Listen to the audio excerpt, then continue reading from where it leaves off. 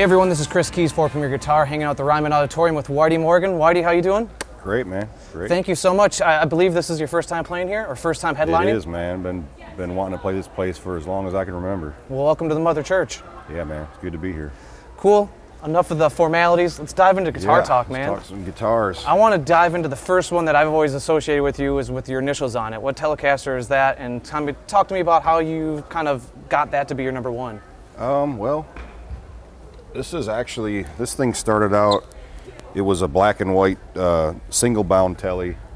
I probably bought this maybe 15 years ago. Damn. And I just I got over the black and white real quick, and I Yeah. wanted the, I wanted this like a tobacco burst, which has always been my favorite, and I just took it apart, sanded it down, and I I used to be I used to do custom paint Oh, cars right. and stuff, so it was pretty easy. I just put a little fade on that thing and and uh, did a little pinstriping on there, which kind of turned out shitty, but it looks pretty cool. this is about the fourth neck that's been on it because I, I used to like the vintage style net um, frets, Okay. but they just would wear so quick. I mean, we were playing 300 days Yeah. a year, and so I this one finally I went with stainless, and this is this neck's been on here for probably four years now. All the four necks that you've gone through, have they always been maple? Maple necks, Yeah, maple boards? yeah. I'm not much of a rosewood guy. I like the pop of the, you know, the maple. But uh, yeah, this is a this is so it's a fender body. This is this is a Warmoth neck on Okay. it. And uh, I saw online a lot of people are asking about tone and stuff, and like if you're willing to change out pickups. And it looks like you got some uh, Seymour Duncans in there. Is that something you've had for a while, or is that something you just got put in there? Um, these actually a guy up in Michigan wound these for me. Um, Oh, all right. I can't even remember his name. It's been it's, it's been at least four years. But what's cool is it, you know it's like a standard hot rail, but it's got the push pull for the if you want the All single right. coil sound. Cool. Which I find myself leaving it on the humbucker almost all the time. Get it now. cooking. Yeah, it just gets just got more body, especially like on these bigger theater stages where you just want it to fill up a little more. Yeah. Yeah, but uh, it's it hasn't been messed with in a while. But uh, I'm always up for changing stuff out. I'm I, I'm pretty fickle. I I got a lot of different amps. I switch out guitars a lot. But this thing's been the mainstay, I guess, for a lot of you know, 15 years now. Been this, Damn. this thing. And what's behind the headstock there and it looks on the Oh yeah, E? that's just um, it's a banjo tuner. Ah. Just kind of stole that from Waylon. Yeah. We got a lot of songs that are in drop D, and it's just it's just easy. It's got the two locking nuts there, and uh, it's a it's actually a Bill Keith. Um, they make the Schaller makes one, but I've, I've this Bill Keith one has stood up for the, the, probably six or seven years now. The Schallers, I went through like three of them in probably in off. five years. Yeah. Yeah, so I finally paid the big bucks for this one, and it's it stood the test of time. It works. It works great. takes a little getting used to. A lot of my guys that have tried to tune it, they're like, they can't because it's it's super. The ratio. I mean, you barely Oh, turn really it, and it yeah, it's you got to really have the touch. But once you get used to it, man, I love it, and it's just the ease of being able to in the middle of the show just boom. Right down. Yeah, and it looks cooler than the that big old stupid. What do yeah, they call the those things? Yeah. It, Yeah, like, it's yeah. just I don't know, not my style. and uh, what strings do you run? Gauge and uh, brand. Um, On this guitar, these are just regular Ernie Ball 11s. okay. Nothing special about it. Just for this, for the number one, for all the regular tune stuff. I've got some other ones that are drop tuned with the big fat strings on them. How did you get into the Telecaster world? Obviously associated with you already alluded to Waylon and any of the other country pickers, but what aside from being a country in- instrument, what got you into the Telecaster world and keeps you there? It was probably uh, like that. Like I said, Waylon, and I just I was playing acoustic for a while. I mean, I'd always played electric, but when I started doing the country thing, I, I started out doing it acoustically, and I just found myself wanting to play more and to do more on stage, and uh, and the acoustic just never really cut through. It never just had the balls. Yeah. And I was like, I, I come from a rock and roll background, so eventually I just grabbed the telly, and the, you know, the telly, you know, is it's the workhorse, man. Yeah. You can take it on the road. This this case can get 105 degrees, and you know, you you pull them out, and they might not be perfect, but you can make slight adjustments, and they'll be right back to where they were. Now, if this thing was full of Les Pauls or you know, like one-piece guitars, you're Yeah. fucking nightmare land all day long. this thing, you know, I mean, I actually this this neck got put on after a sound check. We were playing an arena show, opening for Bob Seger, and the frets on my old one were so bad. I was so sick of just listening to it all night. It just the intonation was terrible. Yeah. I had this neck. It got shipped, and I wasn't gonna. I was gonna wait till the next day when we had a day off to swap Have it. some time. I had a guitar tech buddy of mine from Elderly Instruments in in, uh, in Lansing, Michigan, and he did the the neck switch over from between sound check and our and our set, which was only like an hour and a half. Yeah. And he goes in there, swaps it out.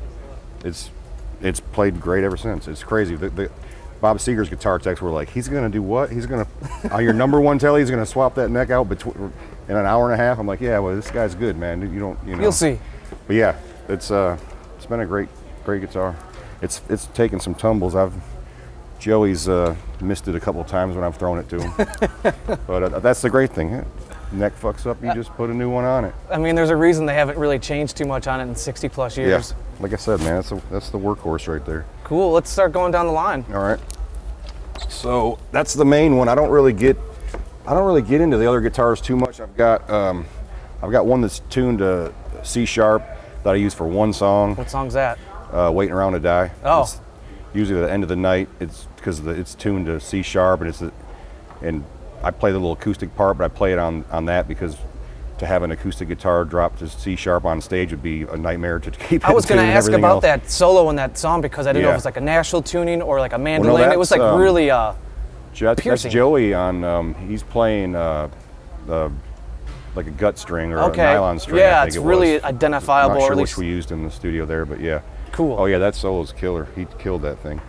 Um, so this one is going to turn into number two. Fender just sent me this. This is one of their um, the American Original series. It's a '62 reissue.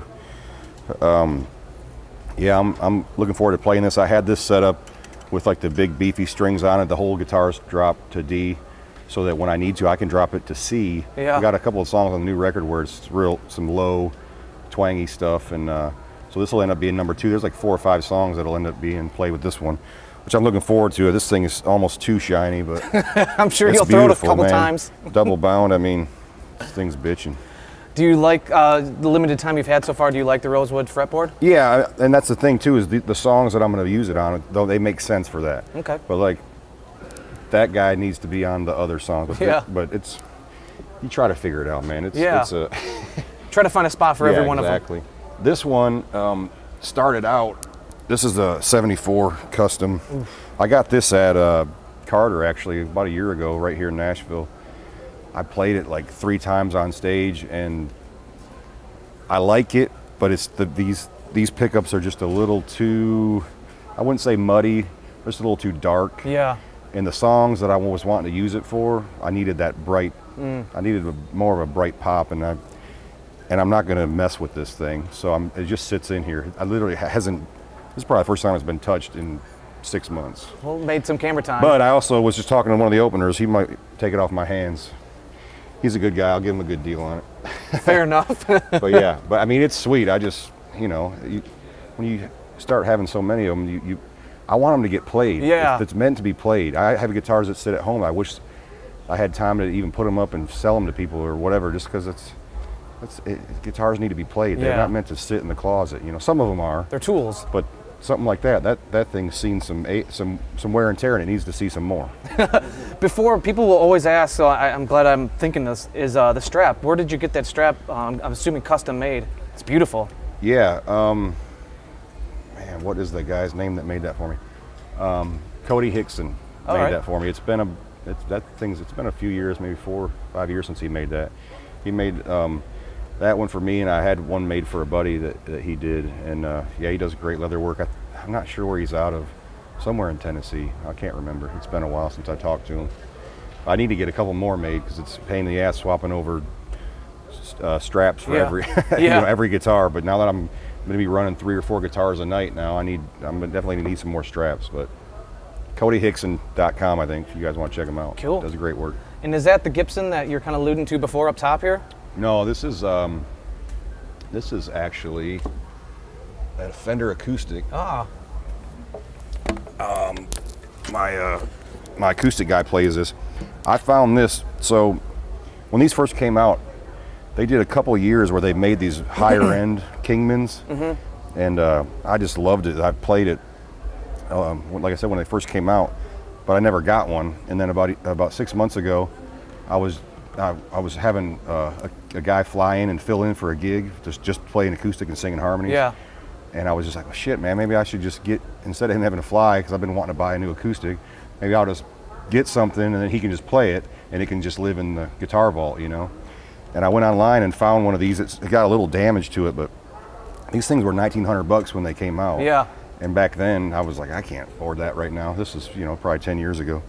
And uh, I found this on Reverb.com.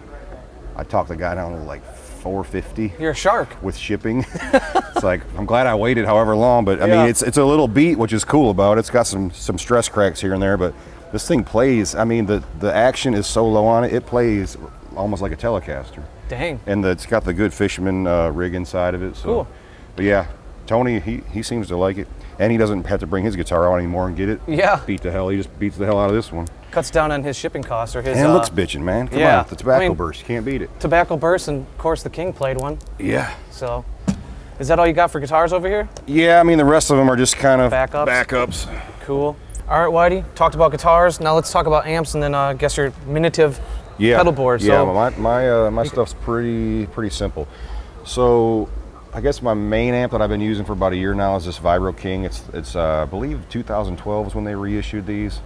I've been wanting one for a long time, and again, it's one of those things where, you know, back then I just didn't have the money to drop because when these came out they were like 3,500 Yeah. bucks because it's you know hand wired and more of a boutique vibe, I guess. me in California.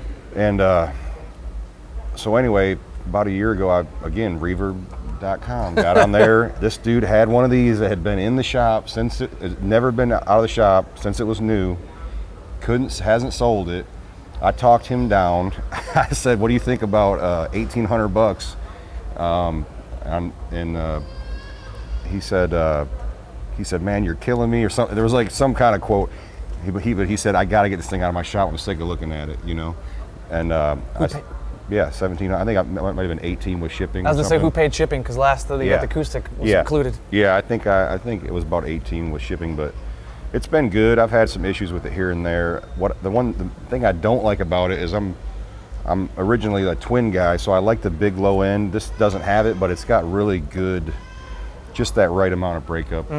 Um, so yeah, I love it, and the uh, the reverb channel on it's great. You can really dial it in.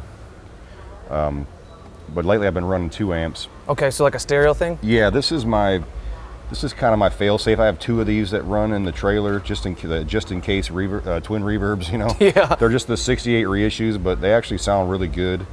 Um, I used to run just one of these for a little while, but then I started mixing in some other stuff. And my my super over there kind of took a crap the other night. Usually I run the super and the Vibro King together, All right.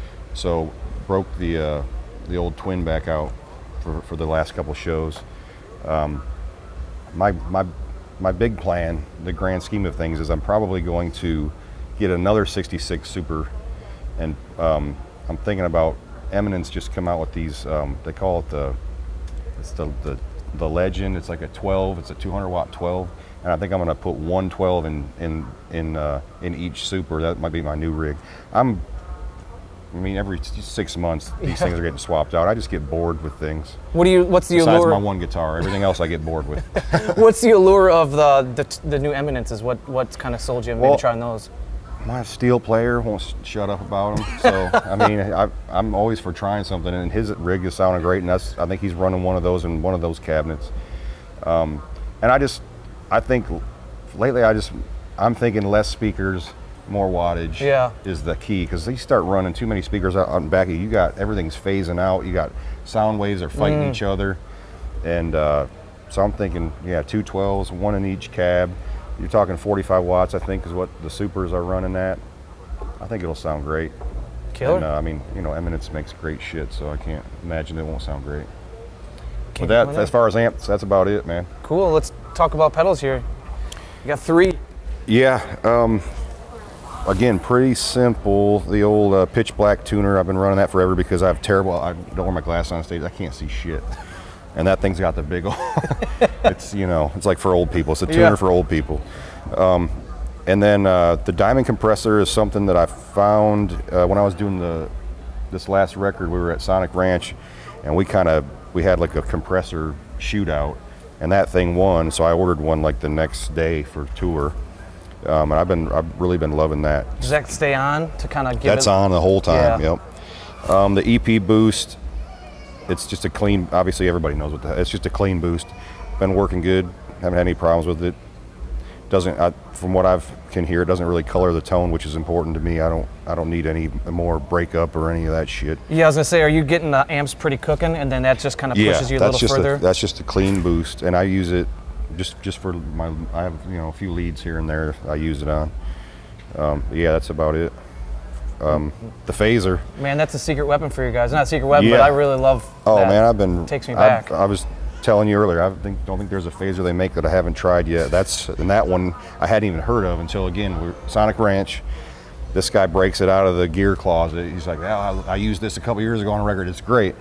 And again, we did a shootout with a bunch of other ones, um, some more vintage style ones. I can't remember exactly what they were, but but that Univox micro phaser is uh, it's mellow. Oh, It just has a speed control on Yeah, I was gonna say there's not. I, Yeah. It's on the side there. I see it. Yeah. Okay. And I was actually really excited because I ordered a diamond phase after I got that compressor. I'm like, oh, their shit's great. I'll just order their phaser, and it was good. It was just it was almost too much going on for Yeah. me. Like every time I'd fuck with something, it would take it too far the other way, and I'm just, I just, I just need the speed. That's all I need. Yeah. It's it's mellow. It's kind of a darker, darker phase. It's uh, unlike a like a the phase 90 kind of Mm-hmm. gets a little abrasive. I used to use those forever, but the problem with those is as soon as I would hit it, it was almost like a boost. Yeah. It was like a boost slash EQ change, and it would just I would almost have to roll my tone knob Mm. back as soon as I would hit that phaser because it was, you know, it was like too much. Yeah. And I love the the phase the phase 90, but that was that was always the issue there was I just felt like I was coloring the tone too much. I mean, I this, lo- this thing's been this thing's been great. I mean, that, I just love that those tones that you guys use, and it's so distinct too with the phase. Yeah. And it just and it looks up. bitchin'. I mean, look at that. It's like that thing's cool as shit, man. Yeah, man. I love the single note stuff like on Sinner. That shit is just so lush Yeah. and so just so smooth. Oh yeah. All right, Whitey, I'm going to talk to the rest of the band. Thank All you so much, brother. Good luck with them. Absolutely. Thank you, sir. Thanks. All right, far into the stage with Joey. Joey, how you doing? Good man, how are you? Very well, dude. Appreciate you talking the time, Yeah, taking the time to talk Yeah. tone with us. I was going to ask you off camera about this guitar, but I was like, I want to save the story. so tell me about what's going on here because there's got to be something. It's just like uh, that first telly I bought, and then uh, just the years of the road just Really? kind of beat it, beat it down, and the paint job kind of started flaking off, and uh, I did all, I did the rest of the flaking of this off with my thumbnail, like over the course of like eight months of shows, and I just kind of stopped here, like that's my thumbnail, like. So I call it the Two Face, Yeah. or the Two Tone Two Face, yeah, and, and uh, it's just yellow and wood and How long have you had it? sweat stained. It's an 05. Okay. but it's nothing original but the wood. Okay, you well, know? to- walk me through what's so uh, upgraded here. I uh, started playing like acoustic guitars with 61 jumbo stainless, so I really love those. So I Mm. pretty much put them on all my guitars because it just makes it just makes you know playability easier and Continuity. yeah continuity. And you're like you know one day I had that epiphany of like, hey, you know what you can do with a guitar? You can make it how you want it to play. you know, like so. Uh, I started doing that. Like the back of the neck is all sanded down, the lacquer sanded off because it started coming off. But then I started having my guy um, sand the neck flatter because I like flatter necks. Mm. So to kind of contour it more how I like to play. And uh, what's this got in it? Pickups are Texas Specials right now, Fender All Custom right. Shops. Uh, just a good, great pickup. And uh, yeah, wiring's all different, but that's this one, you know. Looks like you're in the market for a pickup Yeah. selector knob. Yeah, oh, they never stay on, man. yeah. I have super glued them on. I just bent it up a little and it's uh, it Still works, works. good. Yeah, it's great. Anyways, that's the number one. I play that on mostly all the songs until I break a string. Uh, speaking of strings, what strings you got? These are uh, GHS like tens. I, I go back and forth between boomers and um, I like the progressive. They have a progressive brand that they make. It's like a different alloy. So just What do you like about the differences? Is it more of a play thing or sound? it's more of a sound thing to me. The the progressive ones kind of don't have a, a on the like the E, the B, and the G a little less shrill to me. Like boomers are great. They're just they boom like they just they're there. But Yeah. uh, those progressive ones kind of they they taper it a little. You know, Okay. kind of like what a compressor does a little Yeah. bit too. Like takes the shrill out just enough, just a little. Yeah. So you're not just. Ah. Anyways, that's how I feel about that. Excellent. what do you got over here? This is another story. Telly. Yeah, this is uh, this is the backup telly. It's a great great guitar too, but this one's you nicknamed. told is- us uh, off camera that this is flown before. It. It is flown. I nicknamed this one Superman. So this was one of Whitey's backup tellies, and uh, he gave it to me a few years ago. But uh, won't get into the details of the show. But every now and then, you know, you're not happy, and uh, this thing flew down a flight of stairs to a landing to fly, turn the corner after it hit, and landed between two people having a conversation, and uh, it kind of got a little, uh, you know, little scar there. Can- so uh, I called it Superman from that Can we reveal who was the chucker? Oh, Whitey. He Okay. whipped, whipped, he whipped this thing. but uh, yeah. And Cool. anyways, then it became mine, and it's it- great. I love it. I said the same thing done, sanded the neck off. It's got 61 jumbo stainless on it. This is original. This is just like American standard telly, and uh, it's you know can't beat them. Strictly uh, backup, or is there songs I, you use it for? I, I played it, you know, depending on how I'm feeling. Sometimes I'll play this one, but that's my main. That's my baby. yeah, clearly. Might take it with me.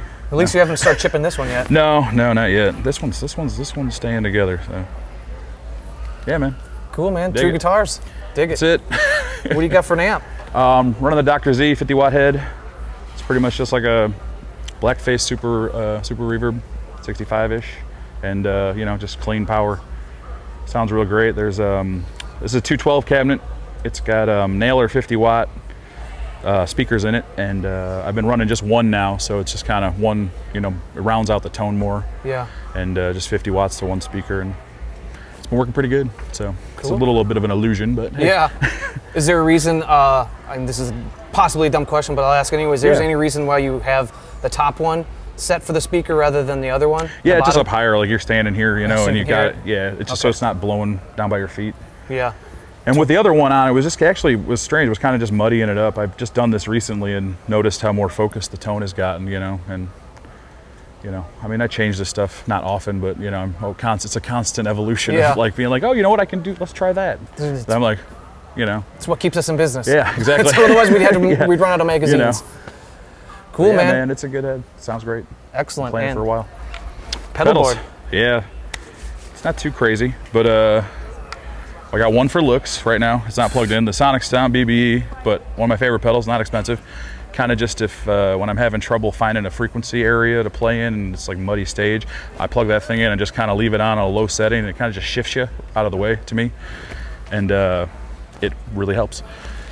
And uh, let's see, the Flint by Strymon, that thing you can't beat Yeah. uh, what's the tremolo and reverb it's just killer they uh they just do things right just putting that in my signal chain has made the signal just sound better even without it off with it Wow. off i put that in i was like wow uh made a huge difference so Do you run it? Uh, do you use both i leave sides the of it? reverb on all Okay. pretty much all night um like when we play waiting around to die it's got tremolo uh the new one honky tonk hell Let's see what else and i turn it on and off throughout the you know i play a solo here and there or a slower song doing some stuff you Yeah. know it's good for accenting got the tap switch which is unplugged right now i gotta plug it in uh, so you can tap it out when you need to do that Cool.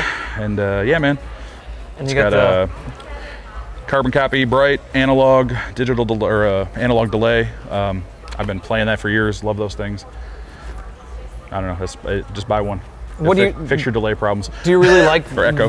the the bright versus the old carbon um, copy? to me, because you could just roll the tone down a little, and it, it gets through a little more to me. I mean, the, the other one's great too. I had that before, Mm-hmm. and when my buddy was like, "Try this one," I tried that, and I was like, "Yeah, it is better." You know, I was just just playing around with even having a like on a neck pickup. Like you just roll the if it's too bright, just blow it down a little bit. It has like a better like attack, and when you're like I can feel like it translates Yeah. better to me, like what you're doing here into an effect pedal. you know, Yeah. when it's coming out. So. And the Nobels is that just kind of for solos? Yeah, it's I kind of running that as a clean boost right now. Um, it's a good pedal. Um, I don't think it's gonna stay there for much longer. I think I'm gonna maybe get it like um, Whitey's got an EP boost over there. I love those, and they're just simple. But I, I don't know. I like it it's- that where I have it set right there. To me, is a really good. I have the level cranked and the drive turned down, and uh, you know, just kind of adds a little bit of grit. It gets to me a little too uh, compressed up there Yeah. for that. You know, And you already got the compression going. Right. So. I mean, it just starts to, you know, drive that point home a little too much. So yeah. in the Nobels, is that something you use like? I really enjoy your guitar work on like "I'm on Fire." Yeah. And like the, it, the obviously it's a slower song, but the way that it really makes it musical for me as a listener it's- is how it you sustain the Yes, notes. that's totally on. Yeah. Along with the compressor and the delay. because those notes that you they just hang there. They're they're there, man. It- Yeah. a little of this, you know, tones in the hands too. You know, you gotta For sure. you gotta you gotta have a little of that pitch black tuner. Favorite. You can read those in the sun on a festival stage. In case you wondered, that's why I love them. yeah, yeah. It's all about visibility. Yeah, I'm always like, that's the tuner. Oh, and this Noble thing, this overdrive pedal, this is the first one I've ever seen. I don't know if you can get in here, but the 9 volt goes right here if you're Oh. ever needing to put a battery in it, which is about the most brilliant thing I've ever seen on a pedal. Yeah. Have you ever ran it with the, the, the 9 volt to see kind of sonically? Some people say they like the battery power. yeah, I mean, I don't. That one wasn't designed like in that time, you know, when the, Yeah. the components inside were for the 9 volts. You know, I mean, this one sound, I, it sounds the same to me, but like. Uh, you, you get one of those like old uh, tube screamers and stuff Yeah. that were designed off 9 volt circuitry, not running on uh, power power, Power stations, pedal yeah. power. Uh, Yeah. So they, they claim. I don't know, man. I just plug some. Sometimes I just plug it in, turn it up, and I'm like, let's just play. You know. It's a rock and roll I band, go back. man. And, I go back and forth on the. Uh, I used to have a small, smaller pedal board than that. I was just like th- two things and you know a tuner, and I was like, this is great. Just press these two buttons all night. Just, like, just play it, not worry about it. well, raise hell tonight, Joey. I will, man. Appreciate Congrats it. on the Planet yeah, man. man. Thank you. This This, is great. Beautiful, beautiful, and a privilege and an honor to, to get to play here finally and Kill it, man. keep it going. Talk Thank you so much, guy. man. Yeah, thank you. All right, last but definitely not least, maybe potentially the most important guy in the country band, Brett. Brett, how you doing, man? I'm doing good, man. How you doing? very good well. To be here. I'm very glad that we're able to do this. You know, uh, another fellow host, John Bohlinger, plays pedal steel. Yeah. So we don't get to feature many of these uh, on camera. So talk to me about this beautiful instrument you got here and how you kind of developed yourself as a steel player because you know it's not maybe a thing that a teenager gravitates towards. Right. Uh, yeah, I was um, in my early 20s and I was playing playing guitar in a country band. You know, playing Merle Haggard and Waylon, and um, it didn't take me long to realize that what really drew me to that stuff, especially like the live Waylon album, uh, was the steel guitar. Yeah. and we didn't have a steel guitar player, so I ended up uh, finding a little Sho-Bud single neck guitar on consignment, and uh, I met Whitey within that year and joined his band. Yeah, So, you've been in the 78s for a while. yeah. So uh, all almost most of my ten years playing steel have been on the road with him Cool. full time. So it's just been kind of right into the fire. Yeah, I mean, right. And so how did you get this this masterpiece? Well, over the course of all that time, my gear has slowly gotten better and better, like it does, you know. Um, Just I like got yourself this, I got this. Yeah, exactly. You know, uh, I got this a couple years ago. This is a Show Pro um, steel guitar that's they're still built in Mount Juliet by a fellow named Jeff oh, wow, Surratt. just down the road. Yep, and uh, it's the finest guitar I've ever touched. So it's uh, it's great. It's got uh, Bill Lawrence um, 705 pickups in it, uh, nine pedals and six knee levers, and Dang. But yeah, it's it's my it's my favorite guitar I've touched. So Is there a lot of maintenance to this from night to night or day to day in terms of you know setting You it up, tuning uh, it, keep everything working, the levers and stuff? especially when I was playing older guitars, you know, because like Sho-Buds and these classic vintage guitars, um, you know, you really have to be a mechanic. yeah. You know, it's like uh, it's like learning to play guitar, but also learning to be a guitar tech at Yeah, the same time. yeah. Mm-hmm. Just out of necessity to keep the machine working. You know, but um, this guitar gives me no trouble. You know, it's it's really easy to keep keep lubed and cleaned. and, Cool. uh, other than Whitey rocking out and you know sweating on an end of it sometimes or something, it's uh, Yeah, when he's like safe in a case somewhere. You know? when he's when he's orchestrating the solo tosses between you and Joey. Yeah. I, yeah, I love that. He's kind of like the, the ring man, ringleader. yeah, yeah, it's uh, it's definitely uh, kind of all just comes about live. You know, It's rock and roll. Yeah, it's fun. And then so behind, oh, I'm sorry, strings. What do you use for strings? I love these uh, D'Addario uh, NYXLs um, that they've been making. Uh, I use the lighter gauge, the lighter gauge of them, which has an uh, uh, an 11 gauge third string here. But uh, they last better than oh, all right. than everything I've. I'm really lazy about changing my strings. It's a, it's a uh, I don't know. It's, it's really a pain It, it to looks me. like a daunting task. Some guys are really, you know, just every day they change their strings, but uh, I'm bad about it. So I need a string that I can get away with a little more, you know. And those seem to, to last the longest for me and sound great. So Cool. And then uh, I kind of overlooked it with the other guys, but this is really important to you is uh, the picks and the bar you're using. Oh yeah, I, I, I don't know if you've ever used a Fred Kelly thumb picks. They're real comfortable. Um, I'm not even sure what these are. Uh, this is a, um, a BJS bar, which is a great uh, chromed, polished chromed bar. Which Have you messed around with a bunch of that? with a bunch of what? A bunch of like different bars, or like in terms yeah, of materials yeah, and stuff. You know, it's it's a it's a uh, it's like anything. You know, it's bar pressure is important to tone and Yeah. intonation, and and everyone's hands are different. So uh, I'm comfortable with this one. It's a it's a 12 string bar. It's a little. Also, I got long hands, so you know you really want your bar to kind of land in the in the crook right there. You know. kind of like the On- pocket. yeah, and it gives you a little spot. And every and the normal ten string bars just made my hands hurt. You know. Yeah. And once I, I actually, from a Paul Franklin video, he was like explaining how he measures, you know, that for a student, and I was like, He's the well, master. there you go. You know, I wish I'd known that when I started playing. 'cause- but there you go. That's why a good teacher is important, I guess. Yeah. Well, before we move on to the amp and your uh, effect box back Yes, behind sir. here, can we just hear some of the sweet music? Yeah. Yeah.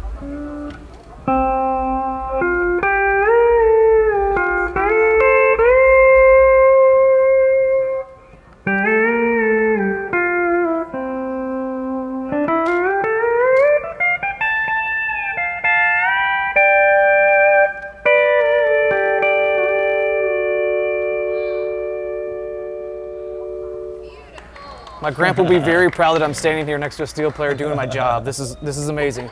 So thank you.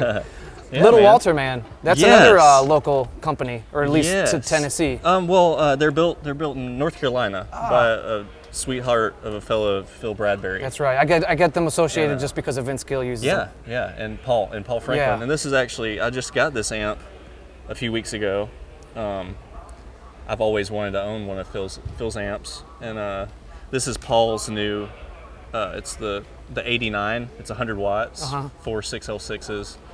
Um, the thing I really love about this amp is that the EQ section's all passive, so you know wide open, it's just my guitar Yeah. and then it's these just function as cuts you know just kind of dial back that tone a little bit so it you know um, phil's philosophy of not adding anything Yeah. to your sound you know so it's the loudest cleanest platform i've found to play steel with which is the most important thing, Yeah. you know?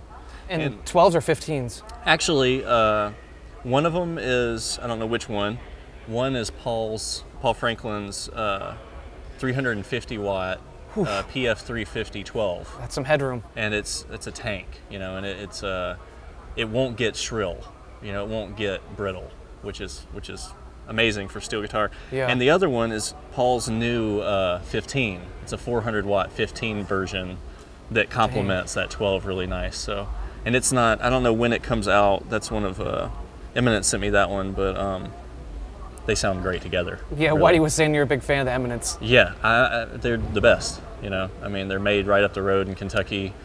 You know, uh, I think the whole town of Eminence, Kentucky, works at the factory. That's pretty cool. Much, you know, It's kind of like with Jack So- Daniels and everyone there in yeah. Lynchburg. And most importantly, they sound better than you know anything I've used. So And last but not least is your uh, effects box up yeah, there. and this is another uh, another Paul Franklin feature here. His uh, the Paul Franklin Steel Dream that Sage Benato builds in Elizabethtown, Kentucky, and it's just an overdrive, um, uh, a delay, and a reverb, a spring style reverb, and I use it pretty much as, as an always on Okay. sound. You know, um, I go from anywhere from you know what you heard that Mm-hmm. kind of. Uh,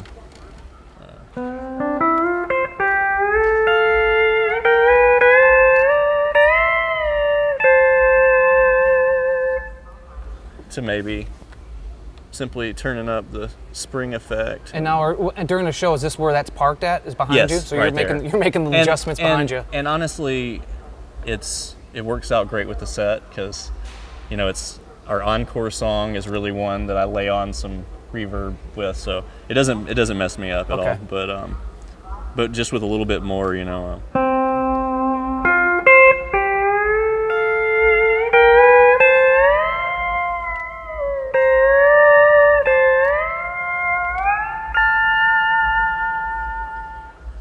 you know, a little sweeter. Yeah. But, uh, Just hangs there a little bit longer. yeah.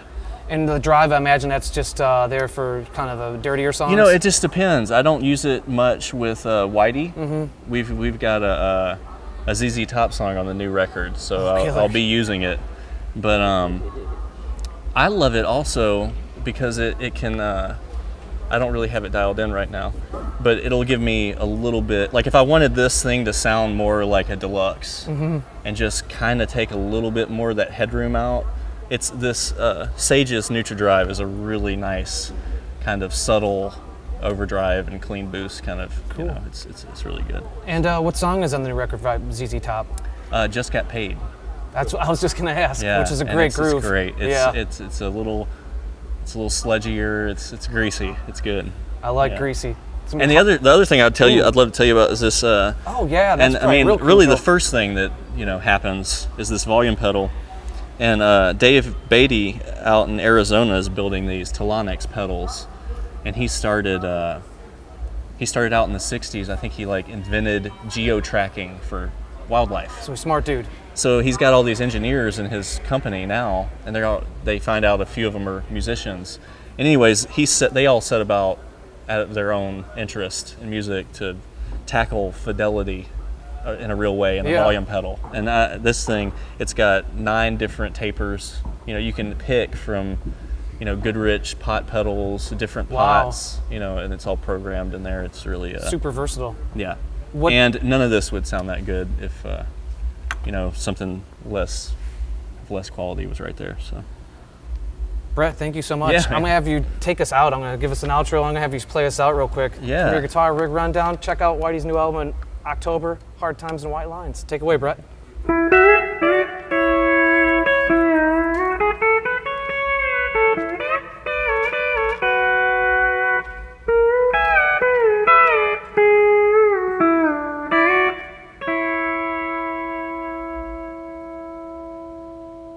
Everybody, thanks for watching the latest Rig Rundown.